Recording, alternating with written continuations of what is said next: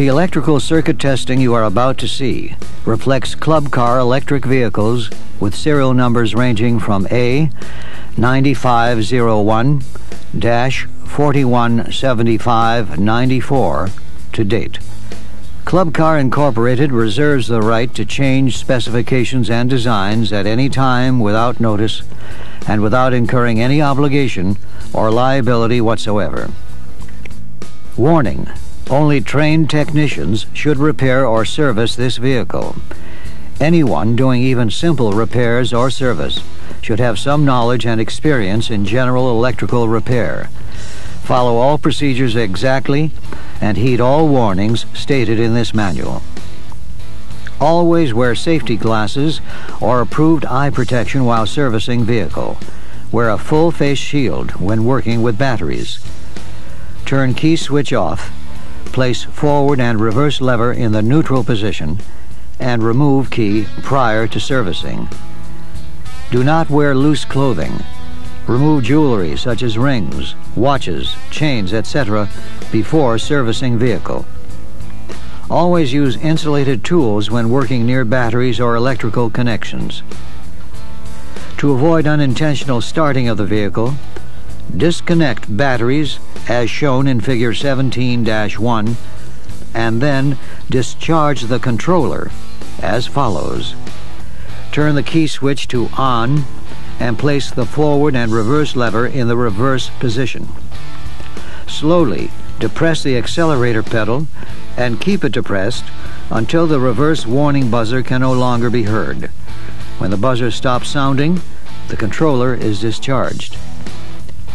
Danger. Batteries release explosive gases. Keep all sources of ignition, cigarettes, sparks, flames, away from charging and service areas. Charging and service areas should be well ventilated to prevent buildup of explosive gases. Use extreme caution when using tools, wires, or metal objects near batteries. A short circuit and or spark could cause an explosion. Batteries contain acid that is poisonous and can cause severe burns. Battery acid antidotes. External. Flush with water. Call physician immediately. Internal. Drink large quantities of water or milk. Follow with milk of magnesia or vegetable oil. Call physician immediately. Eyes. Flush with water for 15 minutes. Call physician immediately. Test Procedure 1 Batteries Voltage Check. When making electrical tests or repairs, always wear safety glasses or approved eye protection. Remove the switch key, put the forward and reverse switch in neutral, and disconnect the batteries as shown at battery number 1 positive terminal and battery number 6 negative terminal. Refer to Figure 17-1 on page 17-2 in your Maintenance and Service Manual and follow all procedures exactly as stated. With your VOM set at DC volts, place the red positive probe on the positive terminal of battery number 1 and the black negative probe on the negative terminal of battery number 6. Your VOM should display at least 48 volts.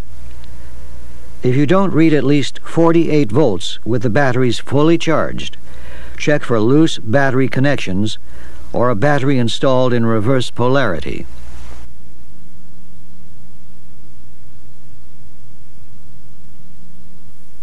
Test Procedure 2 Key Switch If the vehicle being tested is equipped with a multi-step wiper switch, potentiometer, place the red positive probe of your VOM set at ohms resistance on the large post of the solenoid with a red wire attached.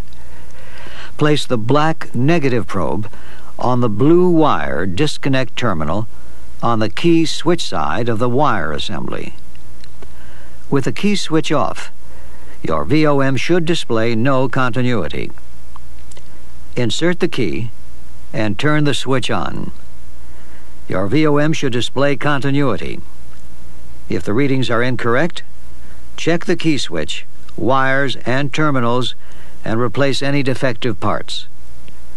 If the vehicle being tested is equipped with the continuously variable potentiometer, place the red positive probe of your VOM set at ohms resistance on the large post of the solenoid with a red wire attached.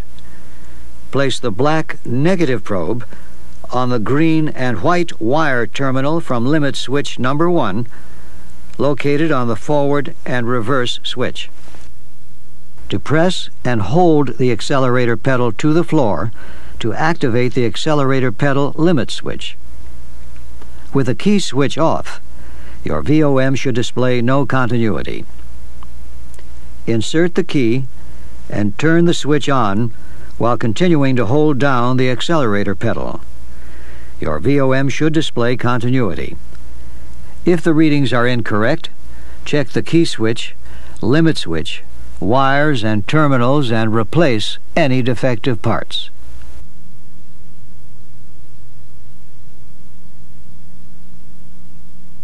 Test Procedure 3 Forward and Reverse Anti-Arcing Limit Switch Of the three limit switches on the forward and reverse switch, the forward and reverse anti-arcing limit switch is the first switch in the group closest to the vehicle body. With your VOM set at ohms resistance, place the red positive probe on the small solenoid post that has the white and black and red wires attached to it. Place the black negative probe on the anti-arcing limit switch, normally open terminal. Your VOM should display continuity when the forward and reverse handle is placed in either the forward or reverse position. Your VOM should not display continuity when the forward and reverse handle is in the neutral position. If the readings are incorrect, check wires and terminals and replace switch if defective.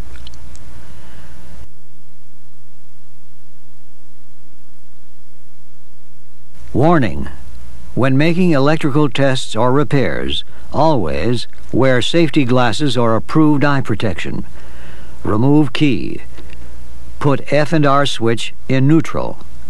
Disconnect batteries as shown, figure 17-1, page 17-2. Follow all procedures exactly as stated. See Safety Warnings, page 17-1. Test Procedure 4 Accelerator Pedal Limit Switch.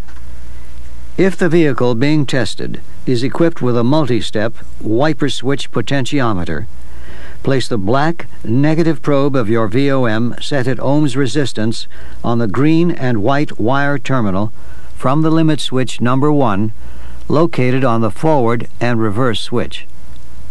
Place the red positive probe on the wiper switch side of the blue wire disconnect terminal.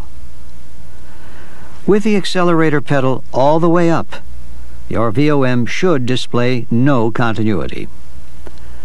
Depress the accelerator pedal completely to the floor. Your VOM should display continuity. If the readings are incorrect, check to be certain the wires are connected properly to the normally closed and the common terminals on the limit switch. Also, check the accelerator pedal adjustment. See Section 21 in your Maintenance and Service Manual. If the wires are connected properly to the limit switch and the accelerator pedal properly adjusted, but the VOM readings are incorrect, replace the limit switch. If the vehicle being tested is equipped with a continuously variable potentiometer, turn the key switch on and place the red positive probe of your VOM on the large post of the solenoid with a red wire attached. Place the black negative probe on the green and white wire terminal from limit switch number 1, located on the forward and reverse switch. With the accelerator pedal all the way up, your VOM should display no continuity. Depress the accelerator pedal completely to the floor your VOM should display continuity. If these readings are incorrect, check to be certain the wires are connected properly to the limit switch and the accelerator pedal properly adjusted. If the VOM readings are incorrect, replace the limit switch.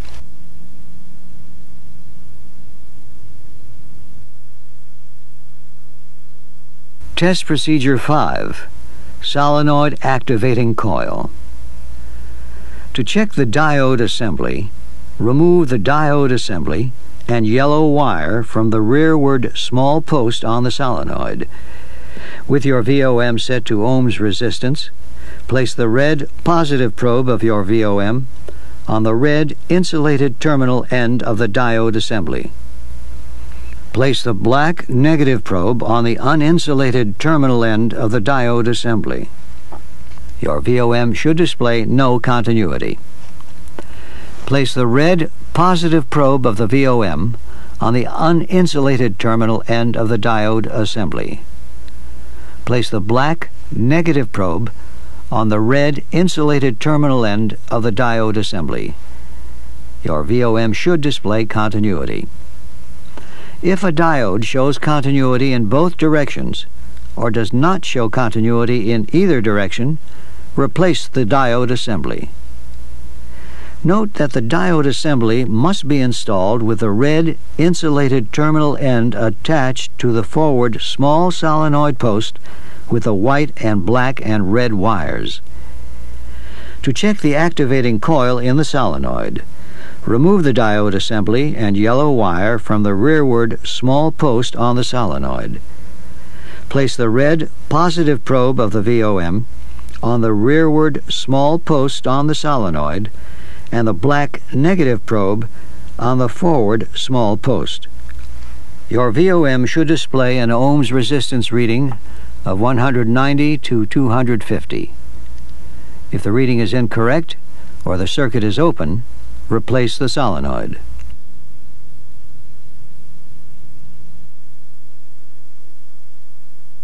Test Procedure 6 Forward Reverse Switch With your VOM set at ohms resistance and the forward and reverse handle in the forward position, place the red positive probe on the M minus terminal of the speed controller. Place the black negative probe on the S1 motor terminal. Your VOM should display continuity. With the forward and reverse handle in the forward position, place the red positive probe on the A2 motor terminal. Place the black negative probe on the S2 motor terminal. Your VOM should display continuity.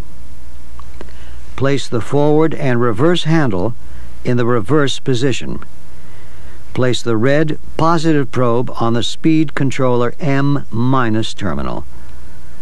Place the black negative probe on the S2 motor terminal. Your VOM should display continuity. With the forward and reverse handle in the reverse position, place the red positive probe on the A2 motor terminal. Place the black negative probe on the S1 motor terminal. Your VOM should display continuity. If continuity readings cannot be obtained in any one or in all of the checks, and the wires and connections are correct, the forward and reverse switch will require repair or replacement.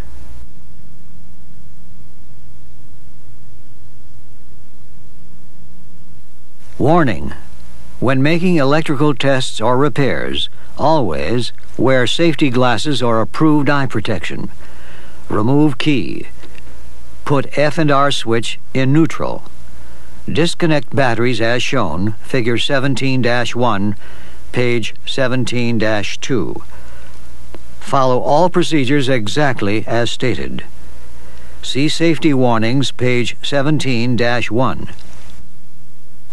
Test Procedure 7 Solenoid Contacts Power off. Remove the yellow and red wires and resistor assembly from the two large posts on the solenoid.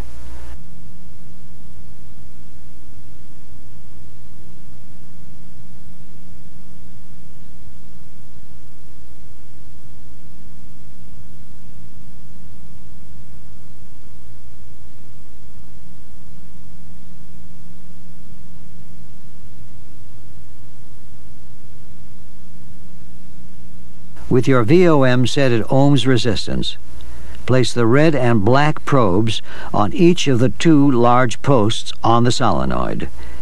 Your VOM should display no continuity. If the VOM shows continuity, replace the solenoid. Place the red and black probes on each end of the resistor assembly terminals. Your VOM should display approximately 250 ohms resistance. If the reading is incorrect, replace the resistor assembly.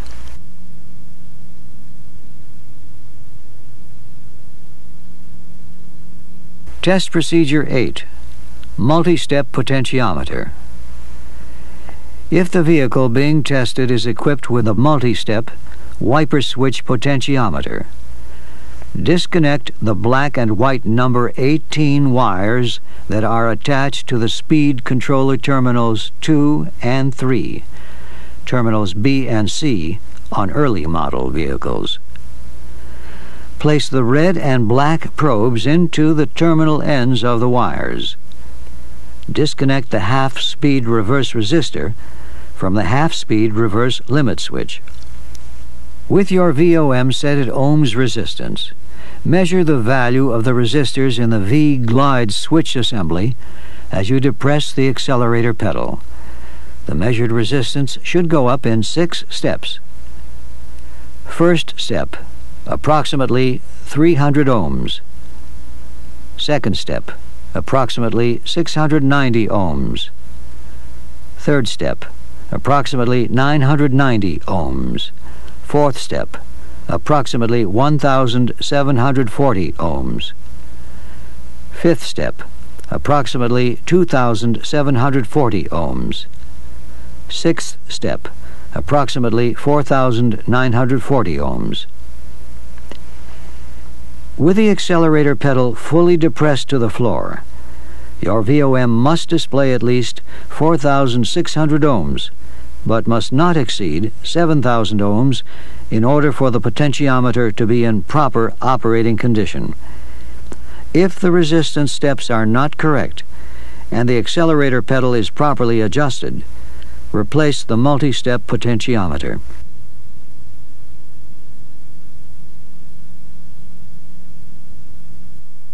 Test Procedure 9 Continuously Variable Potentiometer Disconnect the three-wire connector that connects the potentiometer to the forward and reverse wire harness.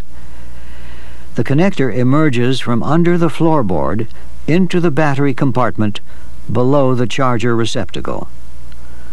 Connect the calibration and test module, club car part number 101 887 1-01 to the potentiometer wire harness connector.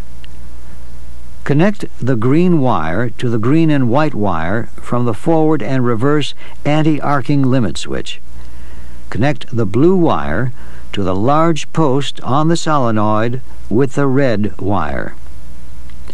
Turn the calibration and test module on and set the switch at the lower right-hand side to the pot position. Insert the key into the switch and turn to the on position. Depress the accelerator pedal just to the point where the accelerator pedal limit switch is activated. The red LED light on the front of the test module will illuminate to indicate this. The voltage reading displayed should be greater than 3 volts. If the voltage is below 3 volts, the potentiometer must be adjusted. Depress the accelerator pedal fully. The voltage reading displayed should be less than 1 volt. If the voltage is greater than 1 volt, the potentiometer must be adjusted.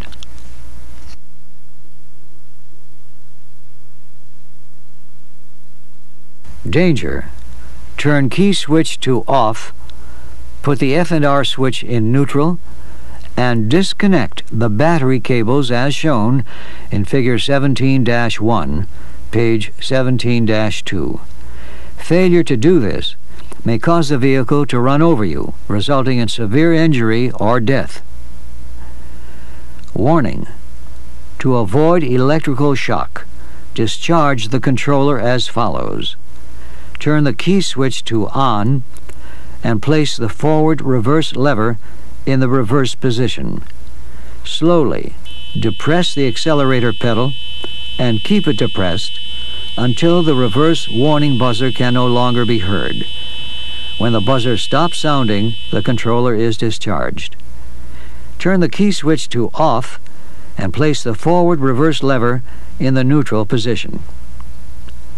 When making electrical tests or repairs, always wear approved eye protection or safety glasses. Follow all procedures exactly as stated.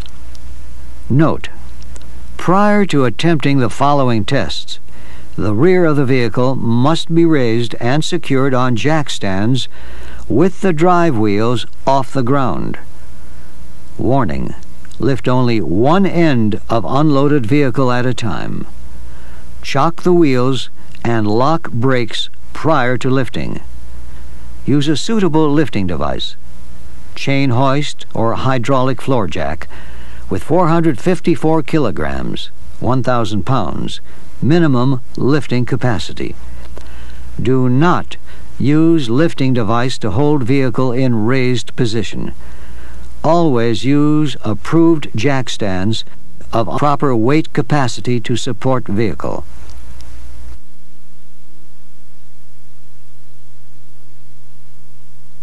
Test Procedure 10 Solid State Speed Controller Check to make certain the electrical connections on the controller, motor, and batteries are tight. When checking the controller bus bar connections for tightness, be sure to use the double wrench technique to avoid stressing and cracking the bus bars and seals. Inspect the terminal area for any corrosion or accumulations of dirt, acids, fertilizers, etc. Remove any trace of foreign material from the terminal face of the controller. To test the controller for solenoid input, remove the number 6 white wire from the A2 motor terminal and secure it. Reconnect the wires to batteries number 1 positive terminal and 6 negative terminal. Place the red positive probe of your VOM set at DC volts on the forward small post of the solenoid with the white and black and red wires, and the black negative probe on the rearward small post of the solenoid. Place the forward and reverse handle in either forward or reverse. Insert the key into the switch and turn to the on position. Depress the accelerator pedal fully to the floor. Your VOM should display full battery voltage.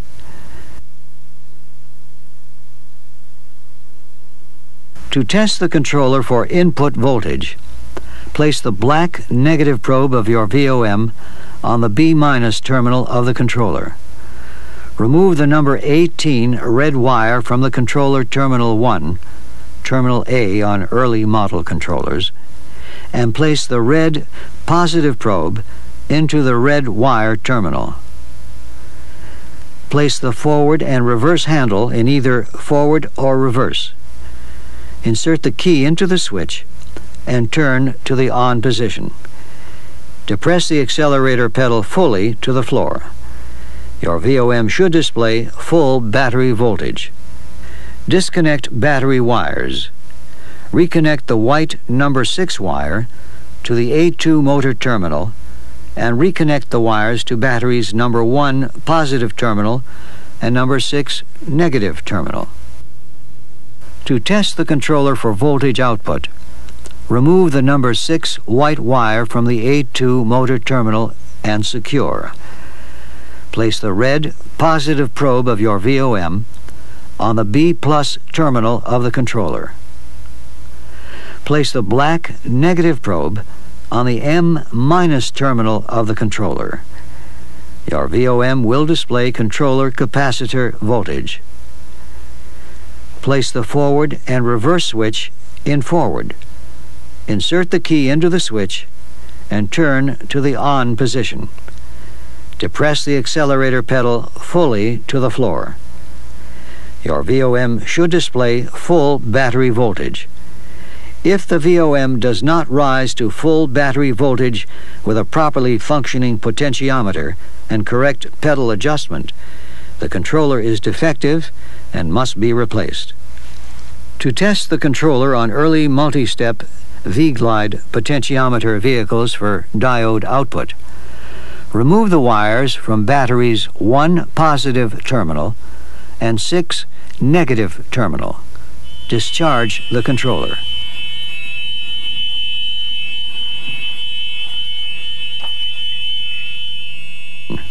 Turn off the key switch and place the forward and reverse handle in the neutral position. Remove the wires from the controller terminals A2 and B+. Place the red positive probe of your VOM set to ohms resistance on the B plus terminal of the controller and the black negative probe on the A2 terminal of the controller. Your VOM will display a higher ohms resistance reading in this position than when you reverse the locations of the probes. If your VOM has a diode test function, use that test. With your VOM set at diode test, place the red positive probe of your VOM on the A2 terminal of the controller and the black negative probe on the B plus terminal of the controller. Your VOM should display continuity. Reverse the positions of the VOM probes. Your VOM should display no continuity. If you find the diode to be shorted, the controller is defective and must be replaced.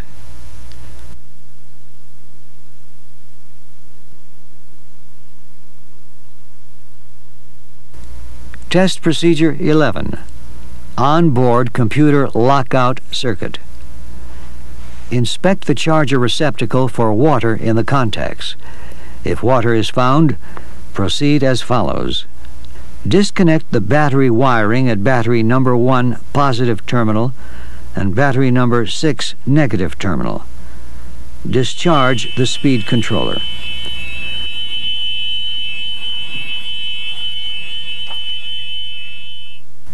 Remove the charger receptacle from the car.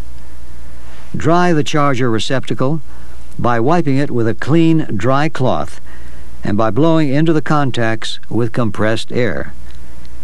Inspect the butyl sealant that seals the entrance of the gray sense lead into the charger receptacle.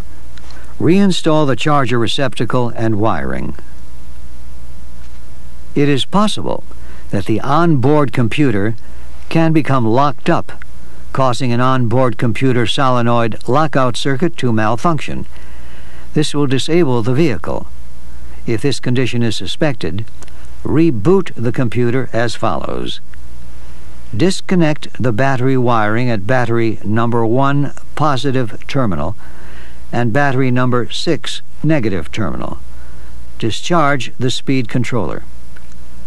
Reconnect the battery wires attempt to drive the vehicle. If the problem has been corrected by rebooting the computer, the vehicle will function normally. If it is determined that computer lockup is not the problem, it will be necessary to bypass the onboard computer solenoid lockout circuit in order to isolate the problem. Proceed as follows. Disconnect the battery wiring at battery number 1 positive terminal and battery number 6 negative terminal. Discharge the speed controller. Connect a jumper wire to the rearward small solenoid post with a yellow wire and the negative terminal of battery number 6. Reconnect the battery wires. If the vehicle can be driven with a jumper wire attached, then the onboard computer has failed and must be replaced. If the vehicle cannot be driven with the jumper wire attached, study the troubleshooting guide on pages 17-6 through 17-9 to find and check the other circuits that could cause the same symptoms.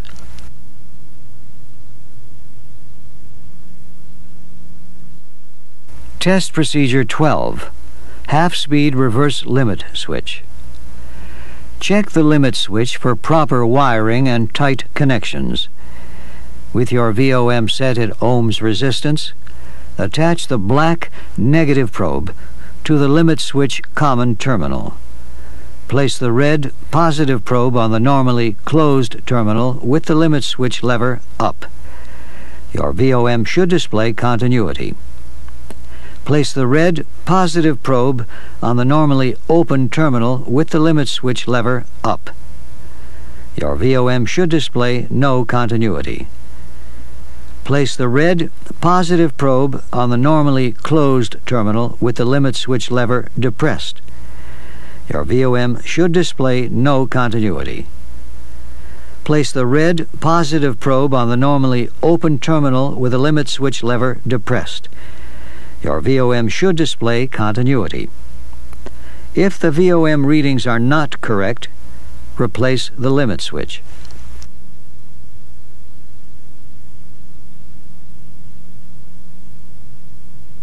Test Procedure 13 Half-Speed Reverse Resistor If the vehicle being tested is equipped with a multi-step wiper switch potentiometer, disconnect the number 18 black wire from the reverse limit switch and disconnect the number 18 black wire from the speed controller where it plugs into the blue disconnect terminal in the potentiometer to limit switch circuit.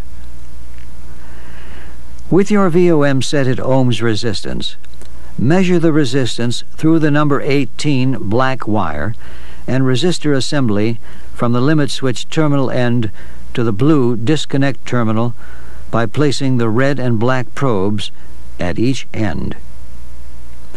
Your VOM should display 3,900 ohms, plus or minus 10%. If the VOM reading is incorrect, Replace the wire assembly with the resistor to the limit switch. If the vehicle being tested is equipped with the continuously variable potentiometer, disconnect the black number 18 wire from the reverse limit switch and disconnect the three-wire connector from the potentiometer. With your VOM set at ohms resistance, Measure the resistance through the number 18 black wire and resistor assembly from the limit switch terminal end to the end disconnected from the 3-wire plug by placing the red and black probes at each end. Your VOM should display 5,100 ohms, plus or minus 10%. If the VOM reading is incorrect, Replace the wire harness assembly with the resistor to the limit switch.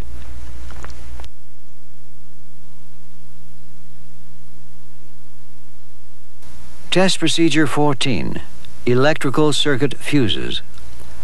There are four fuses located in the Power Drive System 48 electrical system that protect the onboard computer.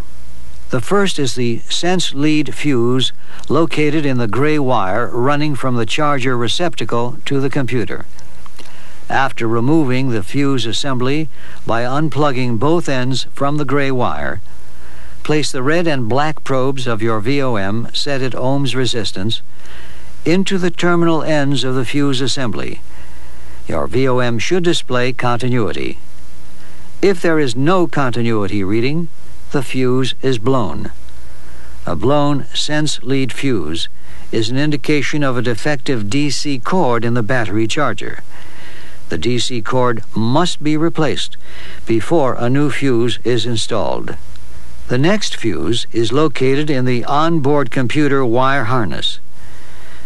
Separate the plastic conduit that covers the wire harness and carefully pull out the red wire assembly. This is the power lead to the onboard computer. The fuse is covered by the black heat shrink tubing. To test the fuse, attach the wire end of your continuity tester to the red power lead wire, where it attaches to the large post on the solenoid. Pierce the insulation of the red wire assembly between the fuse and onboard computer with your continuity tester probe. Your tester should display a light showing continuity.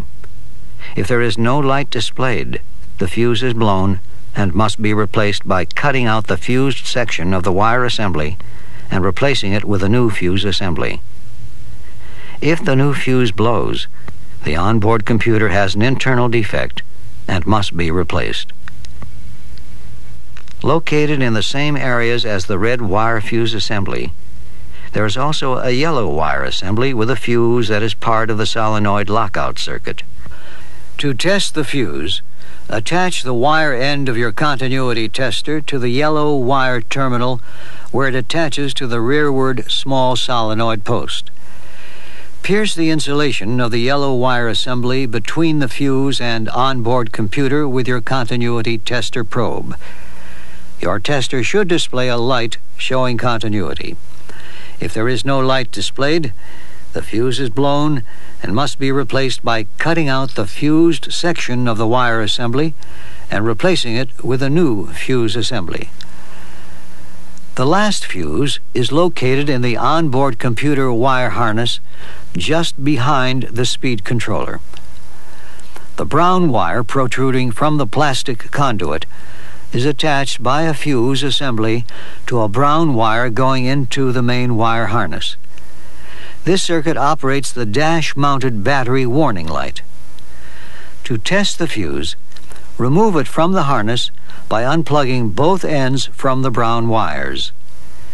Place the red and black probes of your VOM set at ohms resistance into the terminal ends of the fuse assembly. Your VOM should display continuity. If there is no continuity reading, the fuse is blown and must be replaced.